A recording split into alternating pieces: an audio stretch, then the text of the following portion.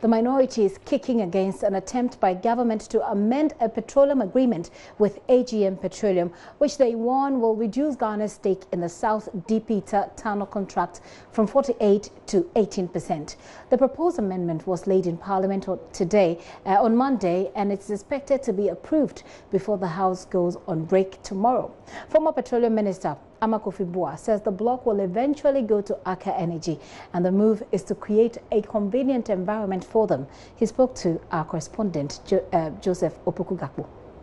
Um, we are expressing concern. We are expressing very serious concerns. Uh, already, what we are looking at is that the royalties, the additional interest, and the, the stake for uh, Explorco, GNPC subsidiary, has completely been wiped out in this new amendment, the AGM amendment. Take me through the figures.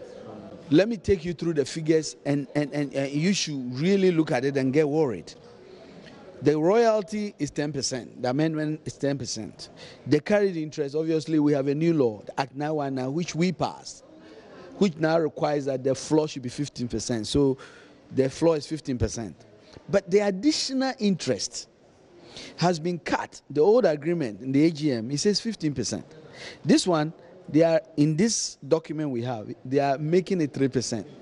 Remember that the only time you even trigger additional interest is when there has been a discovery.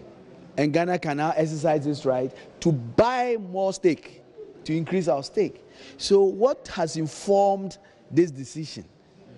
To basically reduce our power to buy more stake from 15% to 3%. More worrying, Explorco in the old agreement had 24%. In this agreement, the, Explorco is the local the, the uh, subsidiary the, the of GNPC. It is a very strategic organization for GNPC. And, and, and you know, so technically, Explorco when they have it is Ghana. How do we say now in the new amendment that you want to take the 24% and make Explorco zero in this agreement? Now, altogether, if you look at it, 48% of the old agreement, 40, yeah. The old agreement, Ghana would have yes, had 48%. Yes, 43%. 43%. It is now being reduced to uh, 18% altogether. And that is really a cause for worry. I think somebody has to come and explain to the people of Ghana how we this is an asset that God has given us. The only reason we are bringing these companies because we don't have the technology. So what we can do is basically negotiate and have some good terms so we can have a little bit of a stake. How we can basically come and reduce an agreement that has already been signed from that to 18%. Uh, and this agreement was signed by the NDC. Of course, okay. of course. So why do you think they are doing this? The, we, we, the justification is we want the minister to come as we want a friendly business. We are friendly enough that in the old agreement we are giving them almost over 50% and we are taking 43%.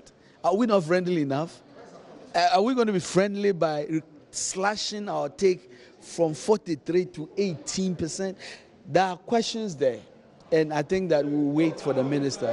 What role may Aker play in this going forward? This particular uh, deep I, I, don't want to. I, I, I, think that the immediate reading is uh, the concerns I have are what I've raised.